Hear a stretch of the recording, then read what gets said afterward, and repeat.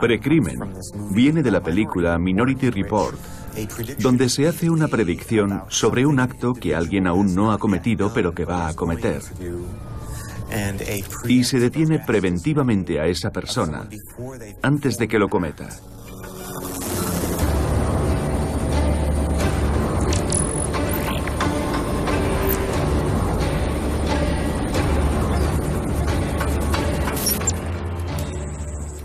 Si me hubieran contado hace años que iba a haber detectores de armas de fuego y cámaras de vigilancia en los barrios o que se iban a poder predecir los crímenes, habría dicho, estáis locos. No anticipa un futuro determinado, el futuro ya es presente. Es el proceso de segurización de nuestra sociedad.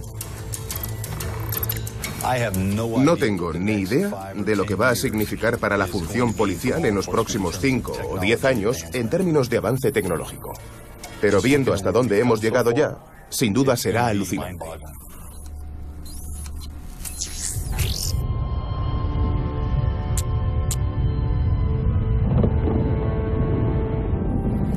¿Se puede predecir realmente un crimen antes de que ocurra?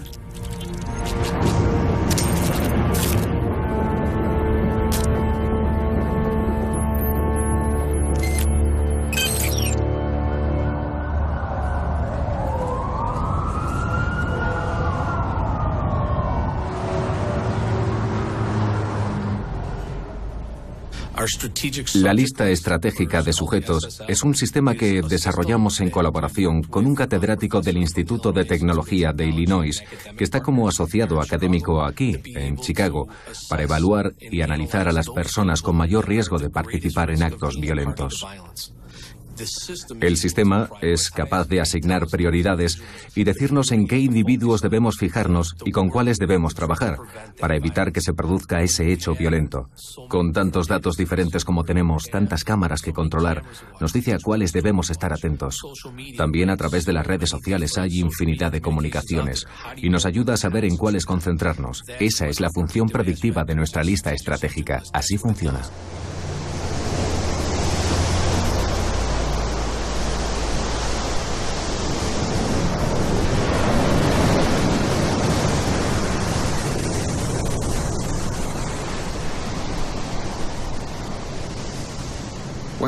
Cuando me hablaron de esto la primera vez pensé, ya ha ocurrido. Hollywood se funde finalmente con la vida real. Programas informáticos que predicen dónde y cuándo se cometerá el siguiente delito. La policía llegando a la escena del crimen antes que su autor. Ordenadores que generan listas con los asesinos del porvenir. Precrimen lo llaman. Me escribe un amigo. Una amenaza extraña se cierne en el horizonte y solo podemos intuir que un día nos determinará por completo.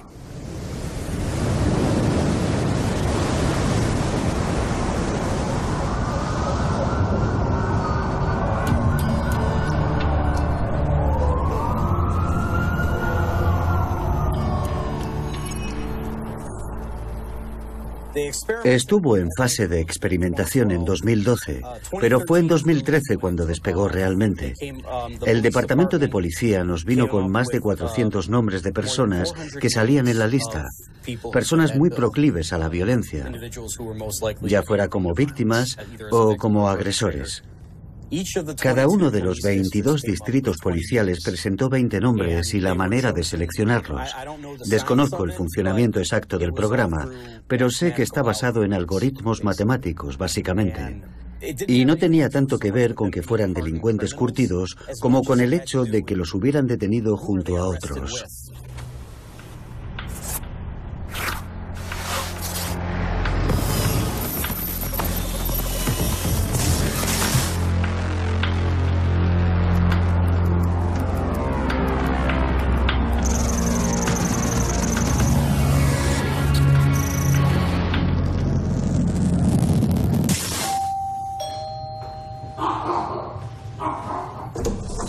¿El señor Robert McDaniel? Sí.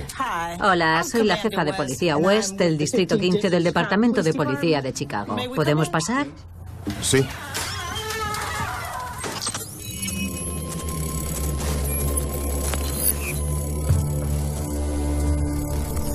Si nos fijamos en Robert McDaniel, por ejemplo, no era un delincuente curtido, solo lo habían detenido por infracciones menores.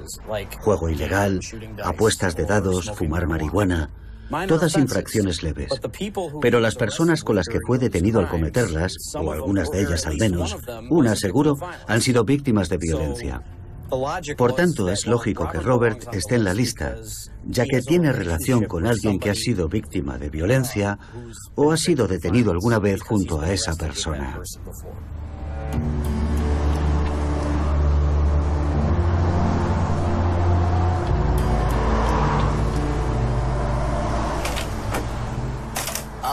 No tenía trabajo. Había dejado la escuela. O me ponía a currar o a vender drogas en la calle. Y lo de vender droga no era para mí. Intenté sacarme el certificado de educación general, pero no salió bien. Cuando estaba preparando el examen, empezaron a seguirme hasta casa. Empezaron a venir agentes de policía llamándome por mi nombre, preguntándome dónde había estado y cosas así.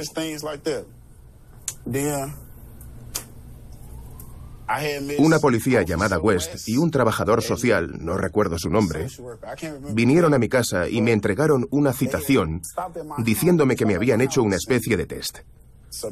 Dijeron que, al parecer, yo daba el perfil para disparar a alguien o para que me dispararan a mí, y que estaba en una lista negra de 400 personas de Chicago. Señor McDaniel, como parte de nuestra estrategia para reducir la violencia, nuestro programa informático ha generado una lista de potenciales delincuentes, actores y víctimas. Y nuestros ordenadores le han incluido en la lista negra del Departamento de Policía.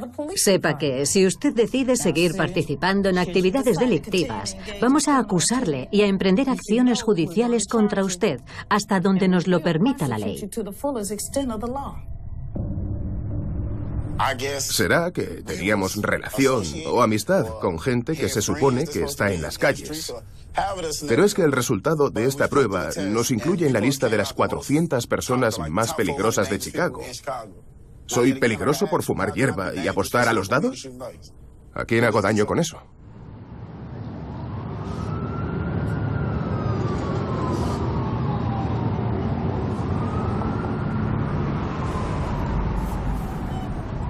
La cronología muestra toda la actividad delictiva con la que ha tenido relación esa persona. Si se fijan, abajo del todo indica las interacciones que ha tenido con la policía, ya sea como detenido, como contacto o como víctima. Así sabes con quién suele ir, dónde ha estado, todo lo que tenga que ver con él que esté documentado por interacción con la policía. Desplácela hacia abajo, por favor, quien la esté usando. Bien, esto muestra, esto es todo lo que compila el programa para volver sobre el terreno a los 15 minutos si la persona ha sido víctima de disparos o de un delito violento, historial delictivo, personas asociadas. Antes, lo único que salía eran los antecedentes criminales de ese individuo concreto. Probablemente veías entre 20 y 30 arrestos de esa persona. Los asociados son las personas de las que se tiene constancia que han tenido algún tipo de relación con ese individuo. De nuevo, nos da una lista muy completa. Todo esto nos permite hacer un análisis de conexiones para poder demostrar cómo interactúa esa red.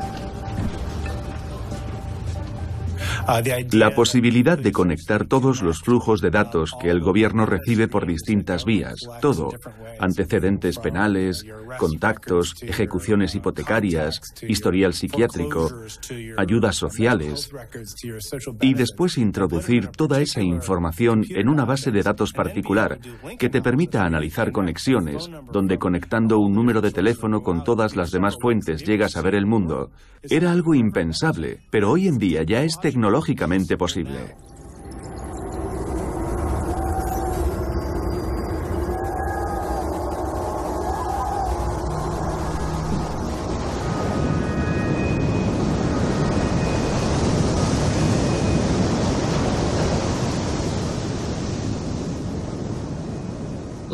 Resumiendo, primero, van totalmente en serio con el uso de algoritmos para combatir la delincuencia.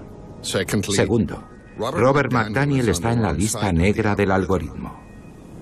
Tercero, aparte de sus desarrolladores, nadie sabe en qué se basa el algoritmo que produce la lista negra. Cuarto, en 2016, según datos estadísticos, cada día 2,0876 personas son asesinadas en Chicago.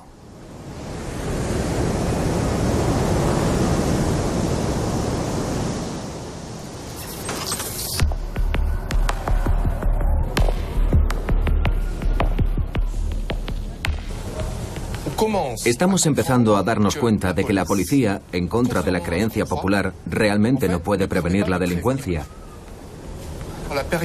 En los años 70 y 80 del siglo XX asistimos a un rápido crecimiento de la delincuencia. Los índices empezaron a ser significativos. Fue en ese contexto donde surgió la necesidad de reformar la policía, de cambiarla para que pasara de ser una fuerza meramente reactiva que responde ante un delito o una emergencia a ser una fuerza proactiva. Y para poder transformarla en una fuerza proactiva había que basarse en gran medida en la tecnología.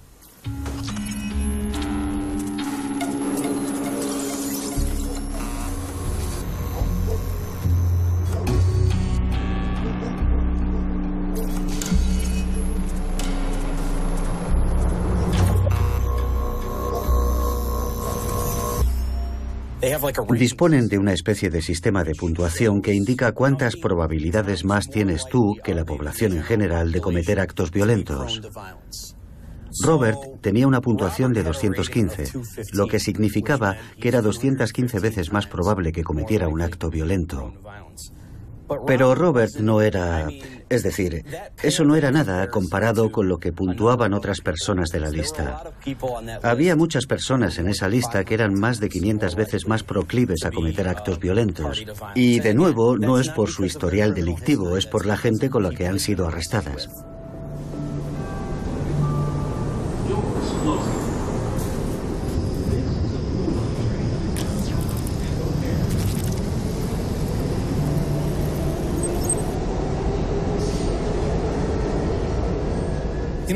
Eso es lo que asusta realmente, que ahora haya empresas puntuando a cada ciudadano. Ahora mismo republicanos y demócratas están haciendo ya este tipo de nanoselección puntuando a las familias por domicilio. Esa información está toda ahí, no solo si eres o no un delincuente. Por tanto, la policía no hace más que acceder a una información que otros ya tienen. Ahora bien, ciertamente, da miedo una sociedad así clasificada. Por supuesto, no es solo una cuestión de privacidad de que estemos facilitando esta información. Se trata de que un gobierno posee esta información. Es una situación diferente. En Estados Unidos permitimos que empresas como Google y Apple lo sepan prácticamente todo sobre nosotros. Pero con el gobierno somos más reacios y está bien trazar esa línea. Lo que vemos aquí es una forma de convergencia de datos donde unas empresas privadas recopilan información que luego venden u ofrecen a las fuerzas del orden público. Por tanto, esa información ya se conoce. Aunque no esté en poder de la policía, las empresas privadas ya la tienen. En estos momentos la tecnología está reuniendo toda la información que puede sobre nosotros.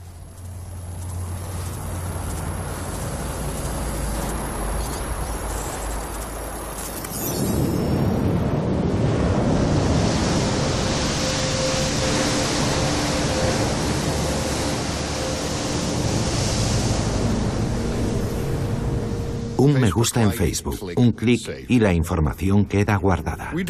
Facilitamos datos que generan información sobre nosotros, que circulan por Internet hasta que con la siguiente actualización se forme otro conjunto de datos. Y así sucesivamente. Data mining, minería de datos indefinidamente.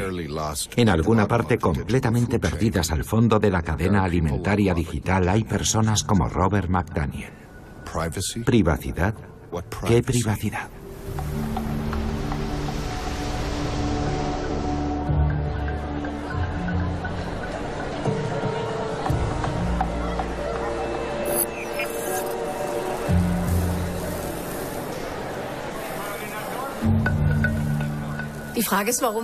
Cabe preguntarse por qué nos hacemos esto a nosotros mismos, por qué usamos esos programas.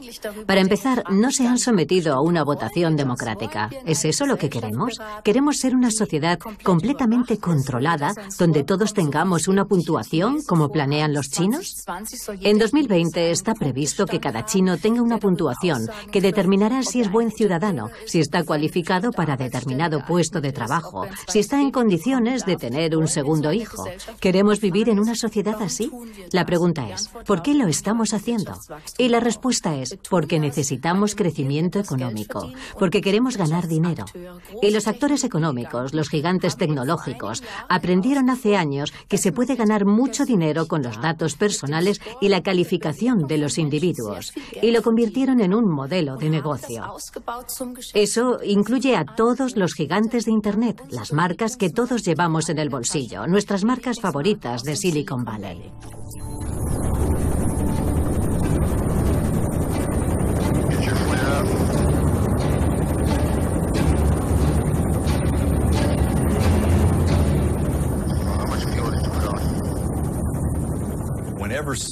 Cada vez que alguien rellena una solicitud para pedir un crédito, tiene que facilitar cierta información. El programa informático Beware accede a bases de datos de instituciones financieras, tribunales, toda clase de entidades crediticias. Beware tiene la capacidad de acceder a todas estas bases de datos simultáneamente. Cuando entra un aviso en nuestro centro de comunicación de emergencias y está clasificado como aviso de amenaza para la vida o delito en curso y viene acompañado de una dirección, el programa Beware busca en todas estas bases de datos y proporciona al operador del centro en tiempo real toda la información específicamente relacionada con esa dirección.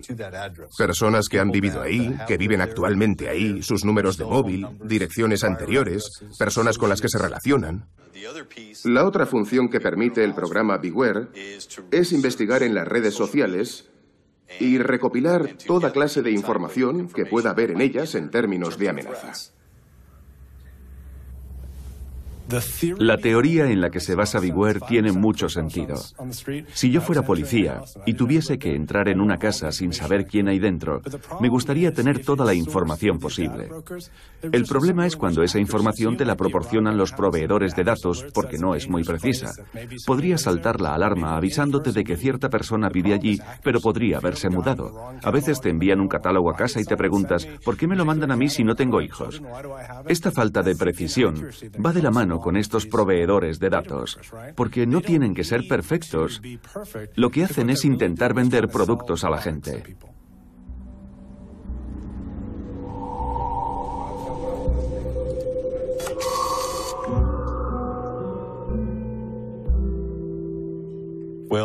Si el algoritmo que utilizan en el sector privado les permite seleccionar mejor a su audiencia para vender sus productos, pienso que deberíamos aprovecharnos de ese mismo algoritmo para ejercer mejor la función policial y así prevenir el delito.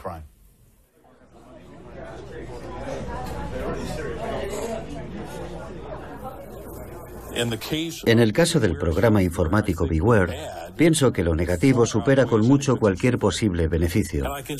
Y entiendo perfectamente que en un mundo ideal y con el software ideal serviría para garantizar una actuación policial más segura. El problema es que no hay nada ideal. Por ejemplo, entre las cosas que analiza el programa, según el fabricante del software, está todo lo que uno publica en redes sociales como Facebook y Twitter. Hubo una mujer en otra ciudad que fue señalada por el programa por hacer comentarios en Twitter que contenían la palabra rabia, cuyo significado está específicamente asociado a la ira, la violencia.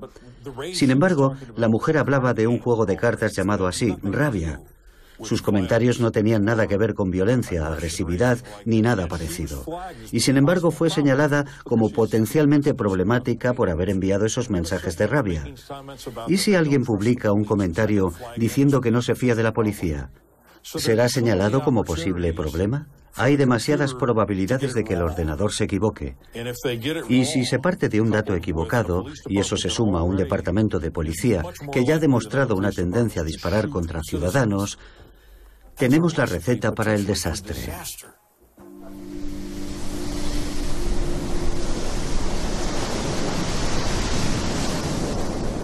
Retomemos la pregunta.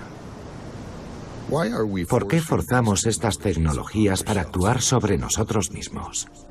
Los Silicon Valley de este mundo están ganando mucho dinero con ellas. Vale. Nosotros los usuarios disfrutamos de las múltiples comodidades en Google Ansia. Muy bien. ¿Y ya está? ¿Y si Internet, alimentada por el feedback permanente de sus usuarios, ya ha hecho su toma de conciencia virtual? ¿Y si desarrolla sus propias necesidades e intereses? ¿Y si nos ha ido conduciendo a tecnologías más cómodas porque pagamos el precio con datos privados? ¿Y si la libertad no fuera más que una ilusión?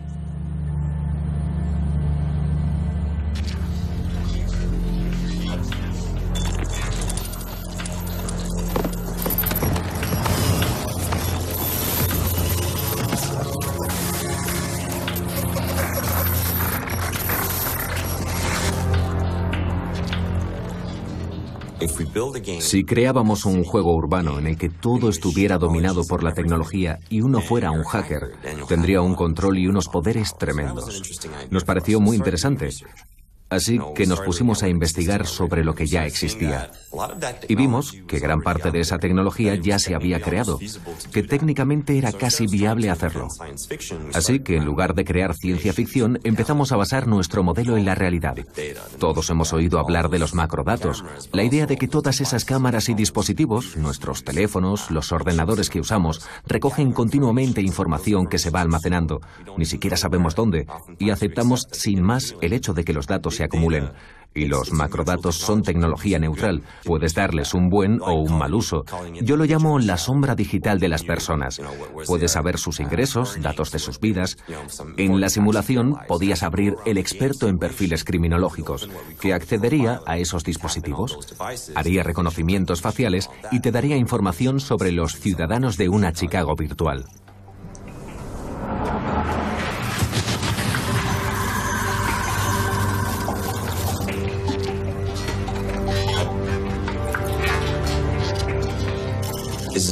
No es un juego de ficción distópica. Sucede en una versión algo diferente de nuestro mundo. Se basa en la realidad, pero llevamos el planteamiento al límite y decimos, ¿y si esto pasara? Por tanto, no es en la realidad distópica, sino antes, cuando es posible hacer algo al respecto. Policía Metropolitana, mantenimiento del orden territorial, trabajando juntos por un Londres más seguro, a quien corresponda. La Policía Metropolitana ha asumido el compromiso de reducir la delincuencia de bandas y los delitos con arma blanca. Según nuestra información, usted ha tenido o tiene relación con una banda involucrada en un delito grave. Si usted participa en delitos y no deja de hacerlo,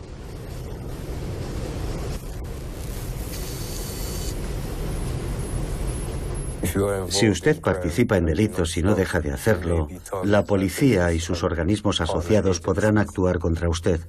Con arreglo a la ley sobre actividad criminal conjunta, podría ser declarado culpable y enviado a prisión, solo por estar presente cuando se ha cometido un delito grave o por estar con las personas que lo han cometido y no tratar de impedirlo.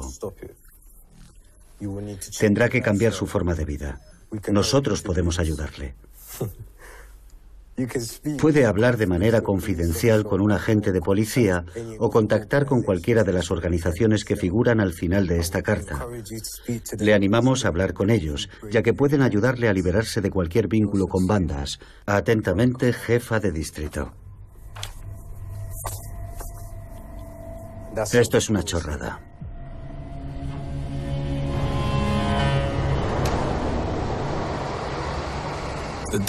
La doctrina de la actividad criminal conjunta se adoptó hace más de 200 años para disuadir a la gente de participar en duelos y se basaba en que si dos personas se retaban a un duelo, ya fuera con pistolas o con espadas, los padrinos podían ser perseguidos por asociación criminal si uno de los duelistas moría. De manera que en realidad no está basada en la ley, sino que es una doctrina adoptada por los tribunales, pero tiene implicaciones operativas, tácticas en términos de la matriz.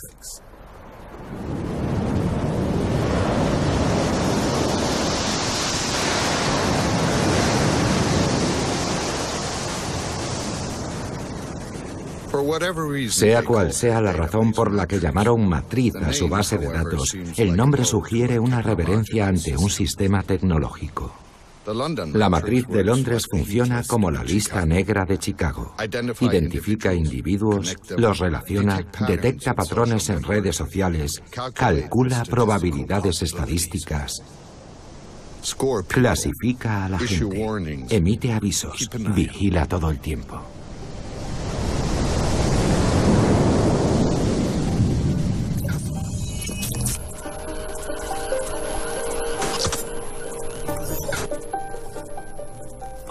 He empezado un proyecto antibandas en una zona en el este de Londres. Tengo clientes que dicen, nunca me he relacionado con una banda. Pero el verdadero problema es la subjetividad con la que meten a la gente en un sistema de inteligencia criminal para ver cómo encaja en la matriz y luego asociarla con ciertas bandas sospechosas. Por tanto, la cuestión es quién controla la entrada de datos, quién controla a los agentes que introducen esos datos.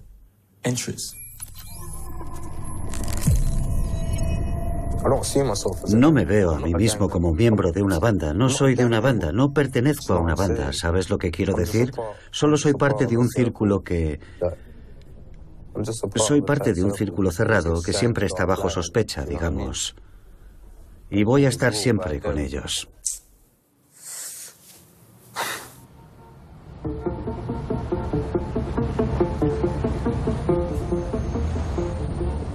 Si les dices no estoy en una banda, te preguntan a qué comunidad perteneces. Soy de la comunidad de Austin. Vale, pues allí son todos ladrones y estafadores. Así que eres sospechoso. ¿Cómo puedes decirme lo que soy por el sitio donde vivo? Que además es el único que puedo permitirme. No tiene sentido. Creo sinceramente que la policía tiene un trabajo que hacer y quiere hacerlo. Si tienen que inventarse el delito, si tienen que convencerte de que eres un delincuente y provocarte para que lo seas, lo harán. A un amigo mío lo mataron hará un par de meses. Lo único que puedo decir es que clasificaron su caso como un asesinato de bandas. Supongo que por eso he salido yo ahí, porque la persona asesinada y yo estábamos muy unidos.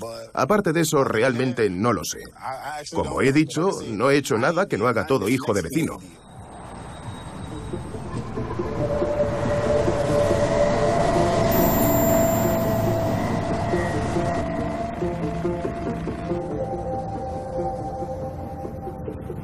No nos han dicho qué algoritmo utilizan para identificar a la gente.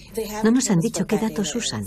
Y que sepamos, no hay forma posible de salirse de la lista una vez que apareces en ella. Por tanto, es aterrador para muchos. Da bastante miedo no saber cómo se crea esa lista, ni qué puedes hacer para dejar de estar en ella. Y aunque te digan que están aplicando matemáticas, ciencia, para elaborarla, las matemáticas y la ciencia no siempre aciertan.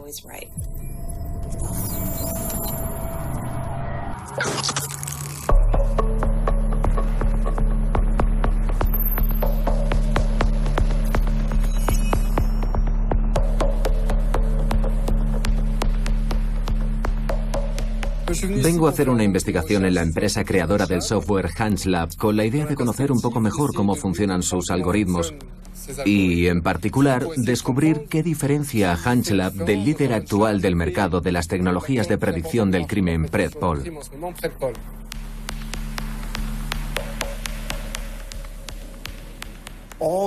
Todos los datos son parciales, pero los del Departamento de Policía, los datos de incidentes, se pueden parcializar de distintas maneras. Y esta parcialidad no es posible eliminarla, pero sí contrarrestarla en cierta medida, incorporando otros datos. El software consta de varios componentes. Uno es el componente de planificación para usar en la comisaría de policía. El segundo componente del programa es una versión móvil del software que puede ir en un coche u otra clase de vehículo y el agente lo tiene a la vista mientras el vehículo se desplaza por una de estas áreas prioritarias de patrulla. Lo que hace es usar el GPS de la tablet para localizar nuestra posición. y cada vez que entremos en un área distinta, la pantalla se actualizará con información sobre ella. Ahora mismo estamos recorriendo una de estas áreas que está relacionada con robos. y si fuera nuestro destino final, nos pondríamos a patrullar la zona durante 10 o 15 minutos. Pero es muy poco probable que se cometa un delito en esta ubicación justo en este momento. Simplemente significa que es la zona de mayor riesgo y por tanto donde más conviene que un agente pase un tiempo patrullando.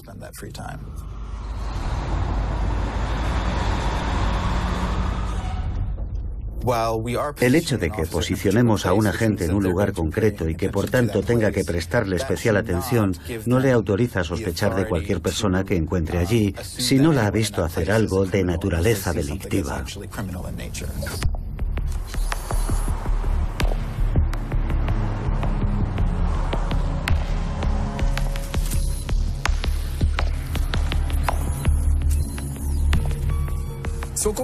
A diferencia del algoritmo de Predpol, el de HandsLab lo conforman múltiples tipos de datos, meteorológicos, sociales, medioambientales, etc.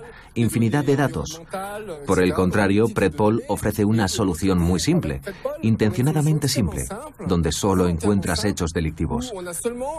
El único interés de Predpol es incrementar la eficacia del sistema manteniendo al mismo tiempo una fuerte dinámica comercial. Predpol ha obtenido la patente de su algoritmo y se niega a entablar un diálogo o un debate sobre su creación. Los planteamientos de Hans Lab son completamente distintos. Opera básicamente en la tradición de los datos abiertos y ahora en la del algoritmo abierto. Un algoritmo abierto al debate.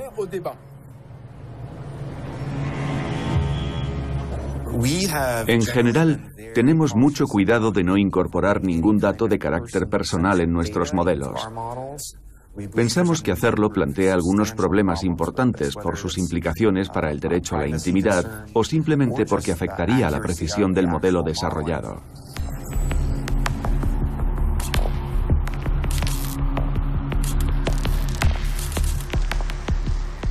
En HandsLab no usamos datos de vigilancia, pero creo que la sociedad debe preguntarse en qué circunstancias sería razonable utilizar esta clase de datos en nuestro beneficio.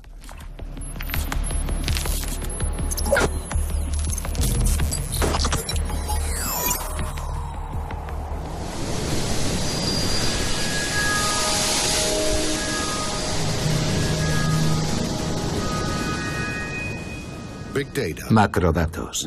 Nosotros, los usuarios y nuestra privacidad. Bien.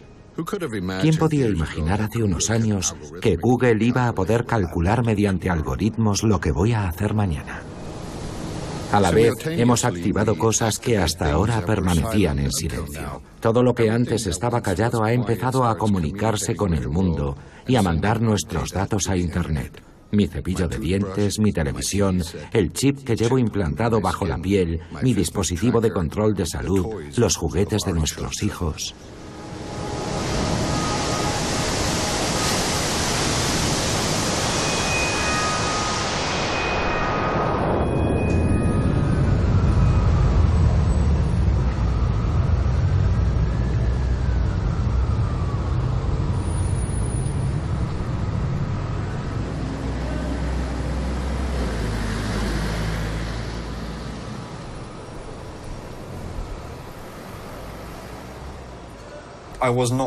Yo no sabía que la policía estaba usando esta clase de tecnologías, aunque no me sorprende demasiado, porque el desarrollo tecnológico enfocado a la seguridad, dentro o fuera del país, es continuo. Y es algo que todos sabemos. Lo vemos continuamente en televisión, sobre todo en política exterior y en los conflictos de Occidente en el exterior. Que a mí que me parece, pues estoy muy preocupado, porque trabajo con muchos jóvenes, unos adultos y otros menores de edad, que ya están, han estado, o por desgracia, lo van a estar dentro de poco, relacionados con el sistema de justicia penal, porque proceden de entornos problemáticos o porque pertenecen a la clase trabajadora, a la comunidad negra, Por tanto, si se les puede aplicar algún tipo de programa predictivo, seguro que no predecirá nada positivo sobre ellos. Pero si lo que se pretende es ganar dinero con un programa informático que proporciona algoritmos a la policía, es bastante indicativo de hacia dónde va nuestra sociedad, alejándose de la solidaridad, del enfoque humano, exprimiendo a las personas al máximo, de todas las maneras posibles.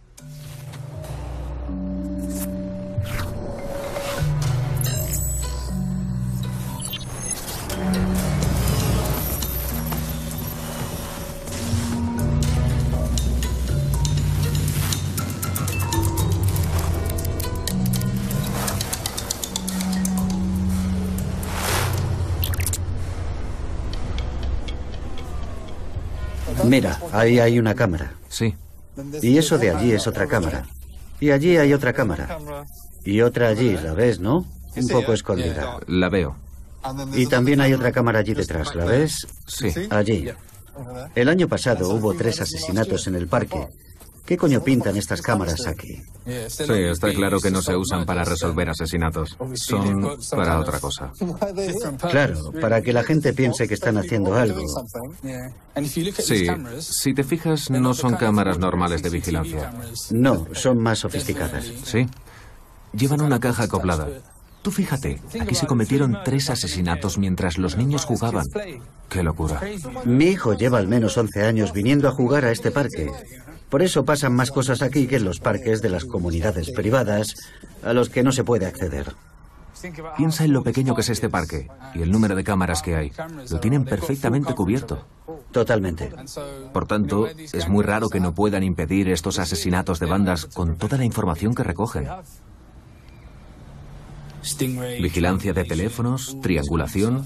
No me sorprende lo más mínimo que ya se haga todo esto. Y estoy convencido de que no conocemos la mayoría de los instrumentos de vigilancia que tienen.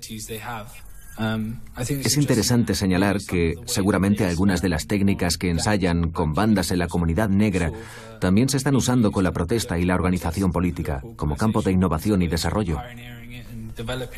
Y refleja una realidad en la cual la policía actúa preferentemente contra varones negros cuando se ha cometido un delito, y en la que les da el alto, les somete a registros y les dispara sin avisar. En Londres y en el resto del país somos un servicio policial. Y uno tiene que saber lo que eso significa. Significa rendición de cuentas y transparencia en todos tus procesos y prácticas. Es lo que siempre he defendido cuando presidí la Asociación Nacional de Policías Negros. También aporté pruebas en varias investigaciones de que los servicios policiales eran institucionalmente racistas por la manera de desempeñar sus funciones. Para mí la matriz es otra forma de racismo institucional. Es aplicar perfiles, y no responde ante nadie. Y en mi opinión tiene que haber una forma de salirse del sistema, ya sea la matriz, la base de datos de ADN. Debe existir un proceso que permita a la población confiar en que se pueden exigir responsabilidades al servicio de policía.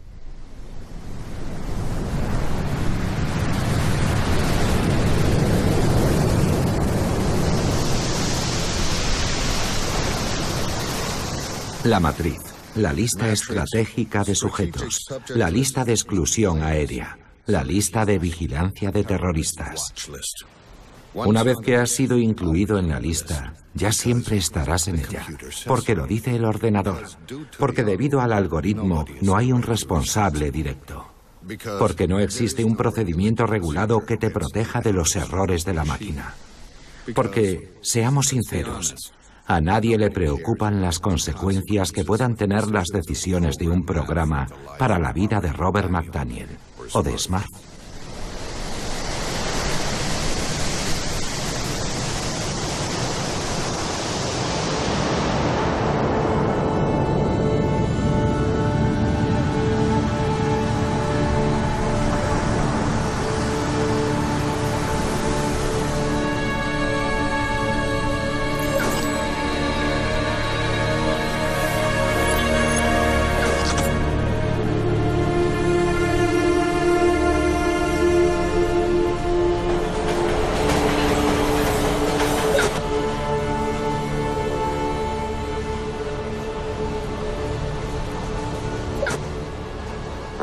Nuestro personaje principal, de hecho, es injustamente clasificado por el sistema de predicción de crímenes del juego y casi desde el principio el jugador busca la manera de borrar esa predicción sobre él porque le parece injustificada.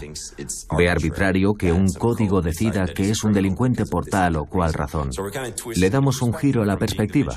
De justiciero has pasado a ser injustamente clasificado como criminal por un algoritmo.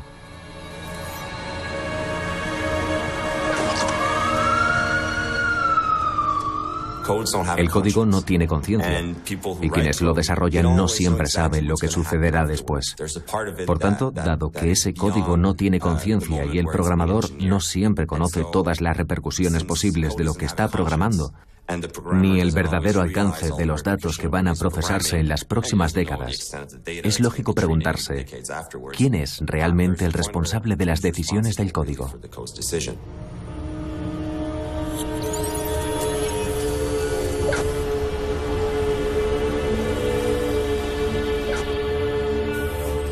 Está mal.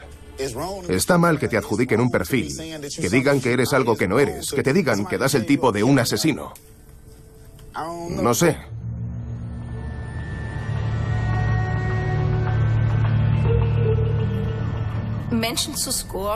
Puntuar a la gente y ponerla en listas todavía no es una estrategia cibernética de control. Está en fase de pruebas. Solo es un proceso preliminar en el que se usan algoritmos para conocer mejor a una sociedad. Supongamos que tenemos Facebook. Facebook contabiliza las veces que pulsamos me gusta. Hay un ejemplo muy conocido. Si eres varón y te gusta Britney Spears o mujeres desesperadas, existe un 73% de probabilidades de que seas homosexual. ¿De acuerdo? Esa información se deriva de datos primarios sobre me gusta y se introduce después como nuevo dato relevante y por tanto aparecerías en una de esas listas. Supongamos que el algoritmo no te dice este hombre es homosexual, sino este hombre es terrorista. Entonces terminas incluido en una lista de terroristas. Aunque haya un 73% de probabilidades de que lo seas, pero también un 27% de probabilidades de que no pertenezcas a ese grupo. Por tanto, las máquinas son inexactas.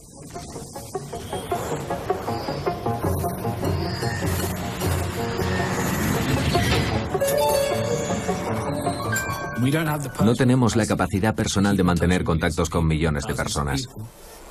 Las redes sociales sí. Es una espada de doble filo y todavía estamos buscando la manera de gestionarlo. Y pienso que el Estado y la policía son conscientes de ello. Pienso que siempre irán un paso por delante. Sabrán perfectamente cómo evitar, por ejemplo, que asistan miles de personas a una manifestación.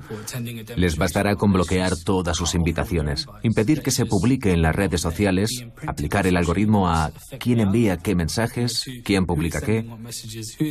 Nosotros lo usamos con la actitud de no nos importa porque lo van a saber de todas formas. Así que nos organizamos abiertamente. Pero es muy inquietante, porque no hay modo de controlar lo que hacen y no tenemos ni idea del alcance de los instrumentos con los que trabajan, ni de la tecnología que aplican en términos de bases de datos y vigilancia masiva.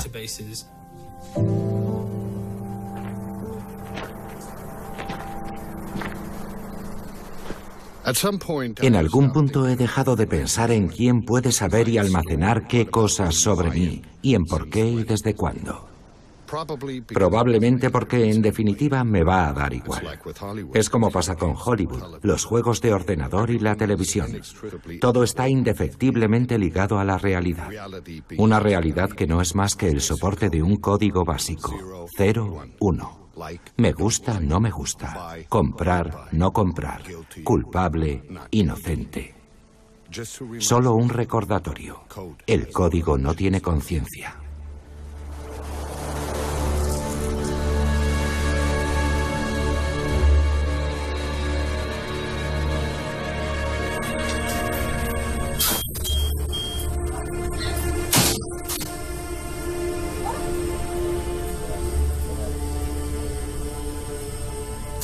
¿Saben lo más curioso de todo?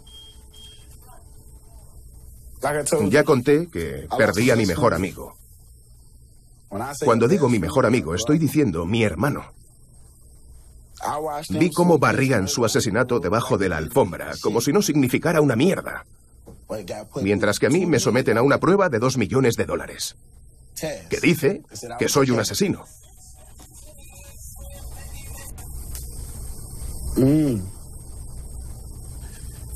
Mi amigo tenía 18 años cuando lo mataron. Ha dejado un hijo. Y yo sigo cuidando de él. El pobre cree que yo soy su padre. No sé. Está mal. Es demasiado.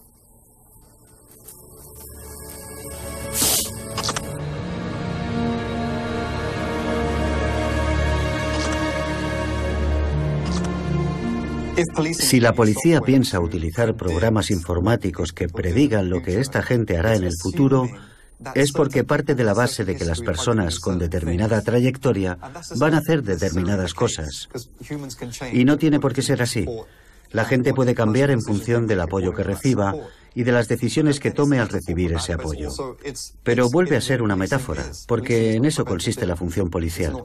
La función policial no es preventiva, no es justa en ningún sentido. Simplemente está ahí como mecanismo de castigo, como mecanismo de criminalización y de castigo.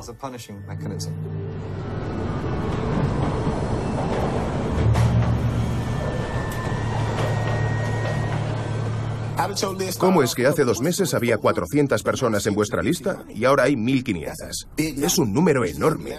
Habéis añadido 1.100 delincuentes de golpe. ¿A quién beneficia eso? ¿Es bueno para las calles? ¿O es bueno para la policía? Tienes más delincuentes que encerrar, más casos que resolver, más producto.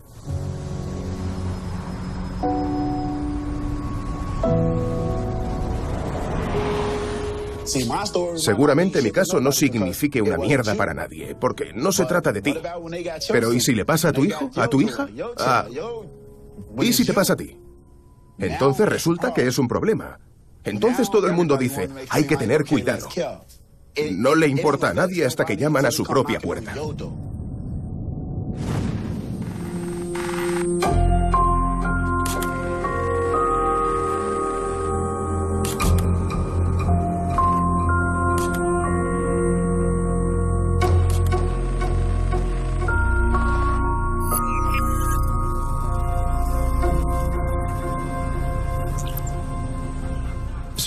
Ahora mismo la gente está dando esa información sin ser consciente.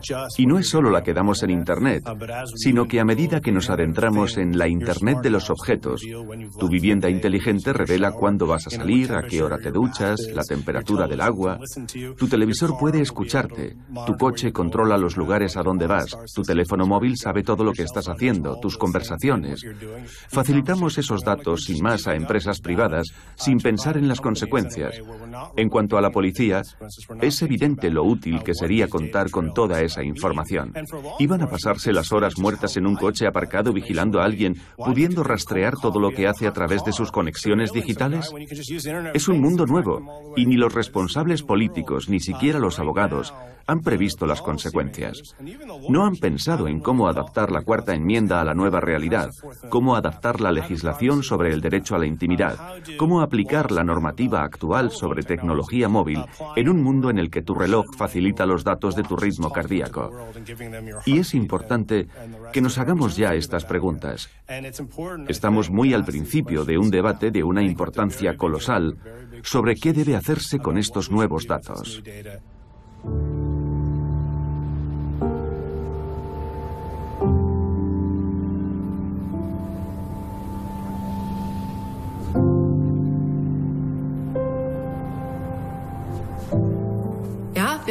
Sí, tenemos que asumir que en este siglo van a utilizarse algoritmos, no solo para controlar a la sociedad, sino para ajustarla. Porque la vigilancia existe solamente para dirigir y regular tu futuro.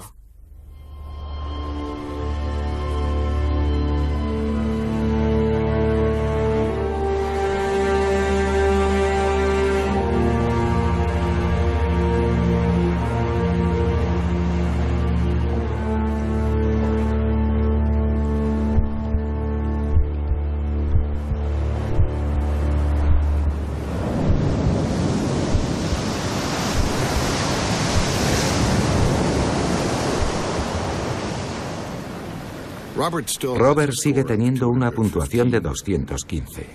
Smart se ha ido de Tottenham. Internet está aprendiendo y evolucionando como nunca. Observa, investiga, recopila, almacena. Sobre la ciudad, como un amigo me decía por carta, el cielo es del color de un televisor sintonizado en un canal apagado. Es hora de despedirme y volver a casa. De vuelta a mi teléfono inteligente, mi dirección IP, mis correos electrónicos, mis bookmarks, mi cuenta de Twitter, mi calendario de Facebook. Bienvenido a la matriz.